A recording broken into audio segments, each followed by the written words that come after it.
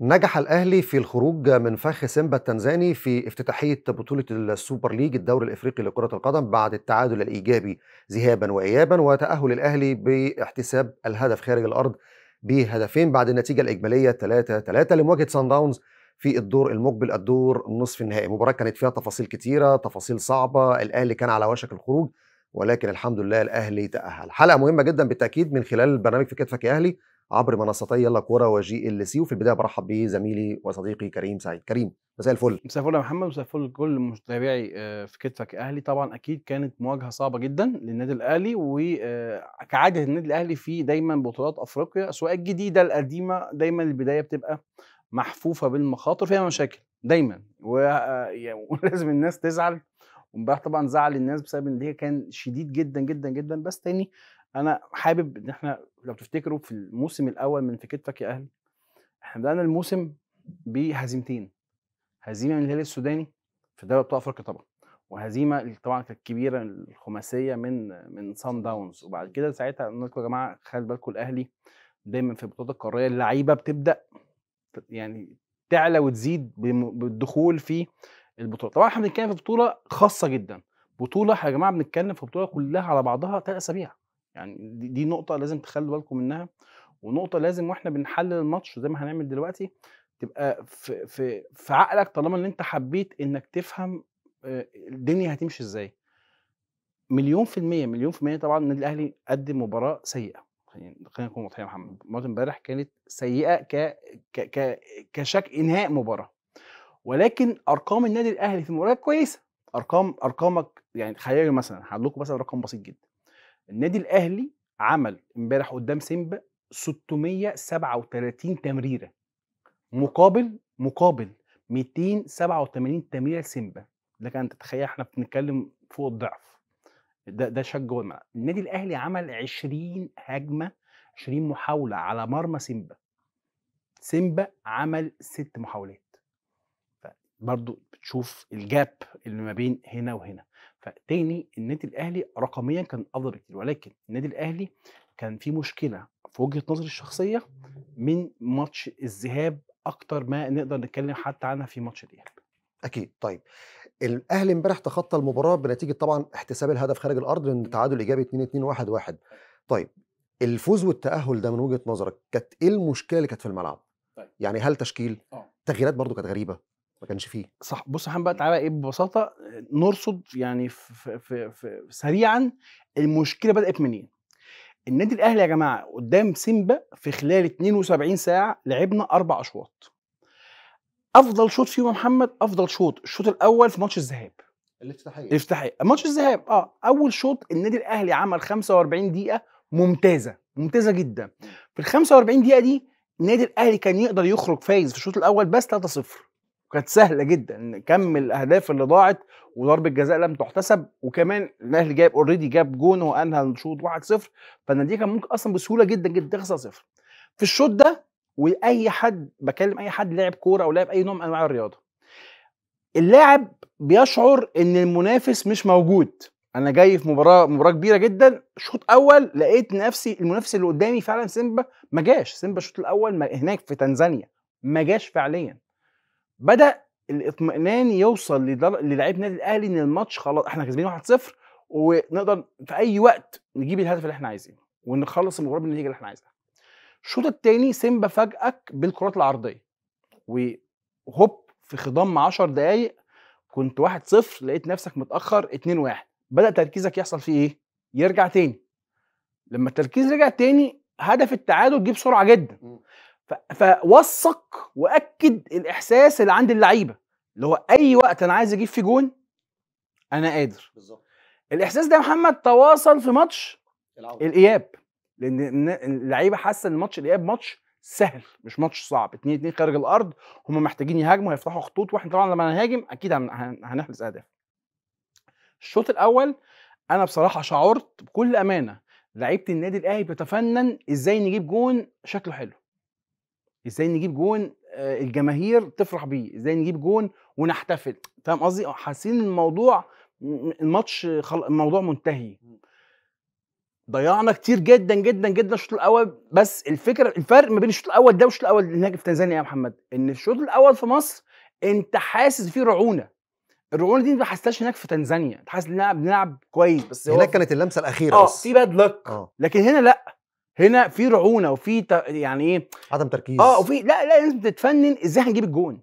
يعني برضو يعني أمانة حسين الشحات حاول كتير إن هو يعمل R2 مع إن كان عندك options تمرير كتيرة جدا في كذا حاجة في الشوط الأول.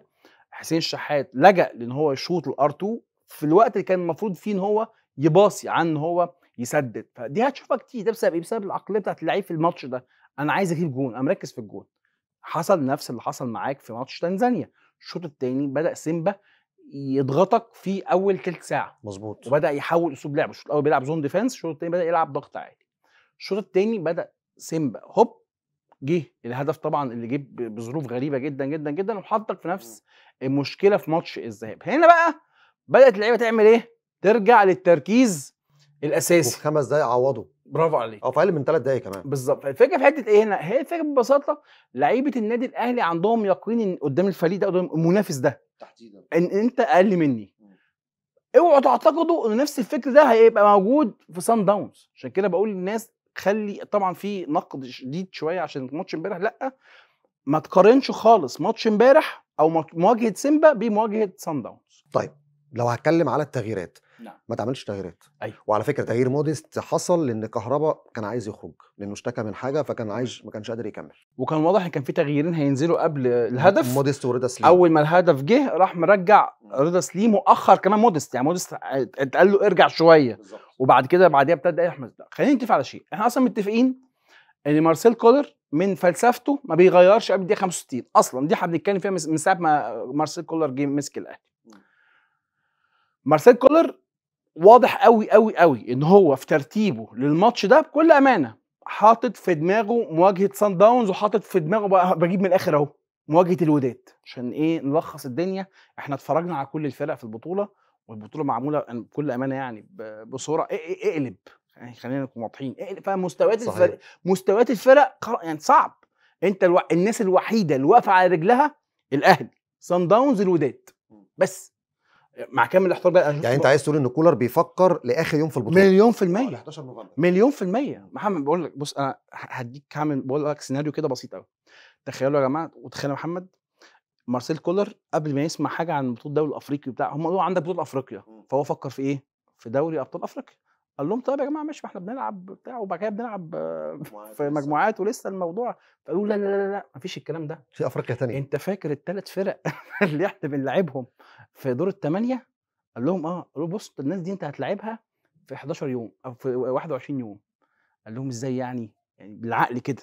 أنا إزاي هقدر أحط system. لو تفتكروا إحنا دايما مثلا ماتش سان داونز.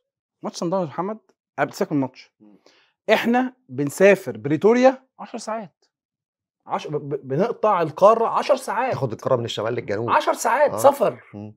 والسفر مثلا الأهلي محدد له السفر يوم الخميس بالليل. أنا عايزكم تتخيلوا تتخيلوا. لو السفر ده اتأخر لأي سبب كان. شكرا. في الوجود. أي سبب كان. أي system الراجل ده حاطه أي system الدكتور بتاعه حاطه أي system مدرب الأحمال أو أو دكتور التغذية حاطه كله باظ. كل حاجة باظت. ليه؟ أنت النهارده ببساطة نظام البطولة صعب. فالراجل وهو ببص... أنا في وجهة نظري وهو بي... بيحط خطة ماتش الإياب قدام سيمبا هو عامل في حسابه ومتيقن إن هو رايح يلعب في بريتوريا يوم الأحد. ولما هيرجع من بريتوريا هيرجع مصر بعدها 10 ساعات راجع بقى يردهم تاني. هيلعب الأربع. فده إزاي؟ فأنا متأكد موضوع التغييرات مليون في المية مليون وهو مش طبعا طبعا هو مش إن هو يبرره. مليون في المية هو حاط في باله ماتش سان داونز وإن أنا ماتش سان داونز ده كمان هلعب فيه بمجموعة معينة وبناس معينة.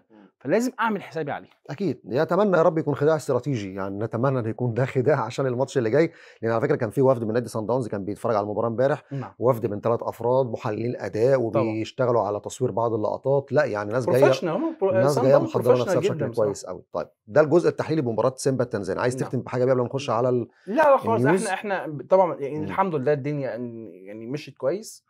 والنادي الأهلي في أول بطولة يعني الحمد لله إن إحنا مكملين يعني أكيد. بصراحة الخروج من الدور الأول في بطولة جديدة كان هيكون مؤلم كان هيبقى شكلها مم. سيء سيء سيء بس الحمد لله الدنيا اتلحقت وإن شاء الله إن شاء الله بإذن الله التركيز والتعامل مع البطولة هيختلف من بدايتها من يوم الاحد طيب ده جزء متعلق بالتحليل الفني لمباراة سيمبا والاستعداد لماتش سان داونز يلا بينا على فقرة النيوز لأن فيها أخبار حلوة جدا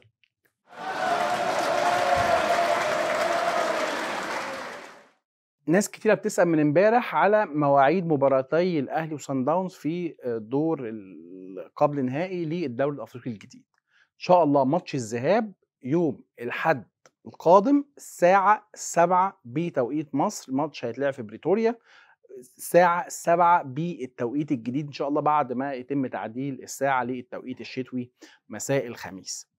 ماتش العودة محدد له يوم الأربع في القاهرة بالتوقيت الشتوي الجديد هيكون إن شاء الله بإذن الله الساعة 4 العصر. تمام؟ طيب. في مفاجأة في ماتش الإياب. في بنسبة مش قليلة نسبة واحتمال كبير يتم تأجيل المباراة مباراة العودة من يوم الأربع ليوم الخميس. بسبب إيه؟ بسبب اللي حصل في مباراة آه إنيمبا والوداد. انيمبا السلطات المغربية رفضت أو أو اتأخرت في إنها تديهم تصريح بهبوط الطائرة فبالتالي ميعاد المباراة اتاجل ل 24 ساعة. ومن هنا وبالتالي يعني واستنادا على مبدأ التكافؤ للفرق كلها ماتش الأهلي وصن داونز المفروض يوم الأربع ربما يتأجل يوم الخميس عشان نفس مدة الراحة اللي هياخدها المتأهل لل final في الج... في الناحية الثانية يبقى هو هو هو اللي خدها المتأهل لل final من الناحية اللي فيها النادي الأهلي وصن داونز تعالى بقى لأن في تفاصيل جديدة من نادي سان داونز نادي سان داونز بعد تأكد تأهله إلى الدور نصف النهائي لمواجهة الأهلي بعد تخطي عقبة بيترو أتلتيكو الأنجولي ابتدى يجري اتصالات ليه ما نلعبش يوم الأحد الساعة 4 العصر. طلب نادي سان داونز متعلق بالحضور الجماهيري لأن الشركة المنظمة للبطولة يهمها جدا الحضور الجماهيري. يوم الأحد ده بداية العمل في جنوب إفريقيا مش weekend زي ما كان بيلعب الأهلي دايما يوم السبت. فطلب إنه يلعب الساعة 4 العصر. طالما أنت عايز تنجح البطولة وعايز الحضور الجماهيري وأديك شفت ماتش بيترو أتلتيكو في بالليل كان الحضور الجماهيري عامل إزاي العب الماتش الساعة 4 العصر. ففي اتصالات في الساعات القادمة إن الماتش يتغير ميعاده ويتلعب الساعة 4 العصر بتوقيت جنوب إفريقيا. وعلى فكرة ده نفس التوقيت مع مصر بعد التوقيت الشتوي إن شاء الله خلال الساعات اللي جاية فيبقى 4 بتوقيت جنوب إفريقيا 4 بتوقيت مصر. ماذا سيكون القرار خلال الساعات القادمة. ده هننتظر فيه الموقف الرسمي من ال AFL طيب نقطة تانية كمان مهمة جدا. وأنت بتعمل حاجة إحصائية أو حاجة رقمية وأنت بتسجلها للتاريخ في بطولة جديدة زي دي النسخة الأولى للدوري الإفريقي نقول كعنوان الأهلي الأول في كل شيء قبل أي نادي مصري في تفاصيل كتيرة. ما هو برنامجنا في كتفك يا أهلي. الأهلي أول نادي مصري يشارك في المباراة الافتتاحية لبطولة الدوري الإفريقي. النادي الأهلي هو أول نادي مصري يسجل أهداف في بطولة الدوري الإفريقي. النادي الأهلي هو أول نادي يستقبل مباريات الدوري الإفريقي على استاد القاهرة الدولي. والنادي الأهلي هو أول نادي مصري يتأهل إلى الدور نصف النهائي في بطولة الدوري الإفريقي. لذلك الأهلي هو الأول في كل شيء. مش بتكلم على المستوى الإفريقي بس ده حتى في النسخة الأولى بالتعاون مع الفيفا. الأهلي هو رقم واحد. طيب تفاصيل المواعيد اللي اتكلم فيها كريم تفاصيل مهمة جدا والمستجدات اللي ظهرت في الساعات الأخيرة بخصوص سعي سان داونز لتغيير ميعاد لقاء الذهاب في بريتوريا. كريم التفاصيل دي تخلينا خلال الساعات الجاية هيبقى في شغل كتير آه طبعا وخليك مم. كمان خلي بالك توضح لك النقطة اللي إحنا بنتكلم فيها من 2019 إن تعمد إن سان داونز يلاعب النادي الأهلي العصر ده جزء من الخطة الفنية مش مش موضوع أنا آسف يعني جماهير واللي هم بيقولوه ده هو طبعا الناس واضحة جدا جدا جدا هم ما درسوا كل فرق شمال أفريقيا وبخصوص الفرق المصرية الأهلي أو الزمالك دايما بيتعمدوا إن هم يواجهوا الأهلي والزمالك الساعة 3 العصر. لازم تبدر ميعاد الماتش. ليه؟ لأن هم عارفين إن طبيعة اللعيب المصري بيلعب مبارياته كلها في بالليل بيلعب بالليل وبالتالي ساعات نومه لحد ما بتتأخر. لما أجي على طول أنا بزنقك والعبك الساعة 3 العصر أنت يومك بيتشقلب. فطبعا هم أنا معاك جدا إن هم هيحاربوا خلال ال 24 ساعة اللي جاية إن هم يبدروا الم- الميعاد من آه، من 7 مساء زي ما هو مت- مترتب للمباراة ويخلوه الساعة 4 وطبعا الحجة اللي بيقدموها حجة منطقية إن هو طبعا عايز الشركة المنظمه تبقى مبسوطة إن أنا النهارده عايز عدد جماهير كبير. أنت لو تفتكر يا محمد أصلا البطولة دي كان مخطط ليها تت- تتعمل من بطولة مجمعة بس الفكرة دي اترفضت لأن هم كانوا عايزين الدعم الجماهيري. قال لك لو إحنا عملناها بطولة مجمعة مش هتضمن جمهور الأهلي يجي لك محدش هيروح لك محدش هيسافر. فبالتالي لا نسيب كل فريق يلعب ماتشاته في بلده. فتاني طبعا سان داونز دلوقتي كل همه أنا متفق جدا جدا في يعني في اللي أنت قلته إن هم يلعبوا الماتش الساعة 4 عشان يضغط الأهلي وكمان وضع في الاعتبار الأهلي مجهد. الأهلي لسه لاعب ماتش بيسافر 10 ساعات زي ما قلنا أول ما هينزل هناك هيتمرن وهيتمرن يومين ويلعب الماتش وهوب بعد كده يرجع تاني 10 ساعات ويلعب في مصر. فهو طبعا واحدة من النقط الاستراتيجية في خطته للمواجهة دي إن هو يلاعب الأهلي العصر. يلاعب الأهلي الساعة 4 العصر. طيب الجزئية الثانية فكرة إن نادي صن داونز عايز يلعب الساعة 4 العصر عشان الحضور الجماهيري. نعم. أنت تعرف حتى إن ماتش بيترو اتلتيكو الأنجولي لما لعبوه إدارة النادي اشترت التذاكر؟ وادت التذاكر مجانا للجماهير. عشان يخشوا. عشان يحضروا. والعدد طبعا كان قليل إحنا شفنا المباراة بصراحة العدد كان يعني هزيل للغاية. أقل من نص الساعة. آه بصراحة يعني المنظر كان مش بالنسبة للاستاد حتى جماهير الأهلي في استاد القاهرة اهي ملت التالتة شمال وملت جزء من التالتة يمين وطبعا بخلاف الدرجة الأولى فكان شكل الاستاد يعني لحد ما في في جما في معقول. في جماهير معقول. إنما طبعا سان داونز بصراحة الشكل الجماهيري طبعا كان قليل جدا وطبعا هم هم هم قادرين ان لو الماتش طبعا الساعة آه، يعني في في ساعات العصر طبعا الحياة اللي عاشوا في جنوب أفريقيا عارفين إن الحياة هناك بتنتهي تقريبا بعد الساعة 6 6 مساء يعني 6 مساء أفريقيا خلاص. كلها بتبقى بالشكل آه ده فعلا. الموضوع خلاص بح لازم كل واحد عشان دواعي أمنية وأمور زي كده. فأنا بشوف إن هم okay قد يكون ده السبب المعلن لكن أنا بالنسبة لي طبعا هو الأساس هو إن أنا عايز ألاعب الأهلي الساعة 3 العصر اضغطه كولر على فكرة ما كانش عايز يلعب امبارح الساعة 5 أوكي. وكان عايز يعدل ميعاد الماتش بس كان الوقت ضيق جدا فالرابطة اللي بتدير المسابقة رفضت وكان عايز يلعب بالليل. آه وعايزين برضو اوضح حاجة محمد إن يا جماعة بصوا مواعيد المباريات بيتم أخذ فيها موافقة من القنوات.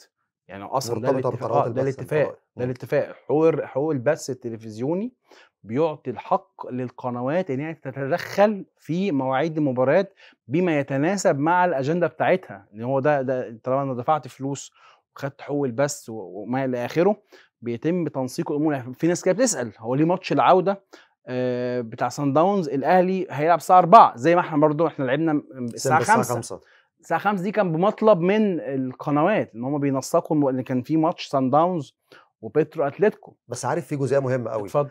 هم رابطينها إزاي؟ إن أنت في مصر نسبة المشاهدة للمباريات الأوروبية أيوه. عالية جدا. أيوه. فهو حريص إن الناس في مصر تتفرج على ماتشات الأهلي بالنهار عشان أيوة. بالليل يركز مع الماتشات الأوروبية. صحيح صحيح. عكس تونس أو المغرب. يعني حتى الترجي لما اتأجلت ماتشاته اليوم الخميس أيوه. الماتش الساعة 6 بتوقيت القاهرة. الترجي كان عايز يلعب الساعة 9 لغاية دلوقتي الرابطة رافضة أيوة. في ماتش المغرب الوداد هيلعب عليهم بس الساعة 9 فهم التوقيتات رابطينها بإن في ماتشات أوروبية فمش عايزين يعملوا يعني يعني سلبية في مسألة مشاهدة المباريات هنا تبقى أقل ومشاهدة المباريات هنا تبقى أكتر فموازن في توقيتات المباريات هو بصراحة محمد الأمانة النسخة الأولى فيها كم.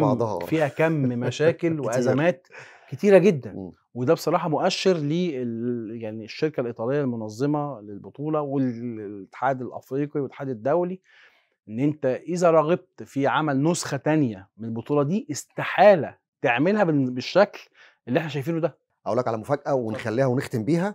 كنا بنتكلم على فكرة إن البطولة فيها دوشة كتير ومشاكل كتير. ناس كتيرة ممكن تقول لك الاتحاد الإفريقي يعني البطولة بالنسبة له هتفشل والنسخة الأولى ممكن ما تنجحش. على فكرة الاتحاد الإفريقي في الكواليس يعني مبسوط جدا إن في مشاكل تنظيمية. الاتحاد الإفريقي نفسه البطولة ما تنجحش. الاتحاد الإفريقي عايز النسخة الأولى تتعمل وما تتكررش تاني. اولا الكاف ملوش علاقة بالبطولة. تنظيم تسويق حقوق تجارية رعاية كل ده بعيد عن الكاف. إدارة البطولة من مجموعة من الأوروبيين مش من الأفارقة. أنا كل المطلوب من الكاف ثلاث حاجات. عندي مشكلة في ملعب طلع لي قرار انضباطي. في كشف منشطات هات لي اللجنة الطبية. عايز حكام للبطولة استدعي لجنة الحكام. ده دور الكاف. فالكاف عشان كده عايز ينجز البطولة ومش عايز البطولة لأن البطولة عاملة له أزمات كتيرة قوي وكمان هتأثر على الأجندة خلال الفترة اللي جاية. طيب كده إحنا تناولنا أمور كثيرة جدا في هذه الحلقة لها علاقة بمباراة سيمبا مباراة سان داونز أخبار مهمة جدا على توقيتات المباريات نظام البطولة. كريم أنا بشكرك. شكرا جزيلا محمد. وبالتوفيق يا رب الله في بإذن الله يا موقعة أخوان. بريتوريا. إن شاء الله بإذن الله. شكرا جزيلا لحضراتكم وإلى اللقاء.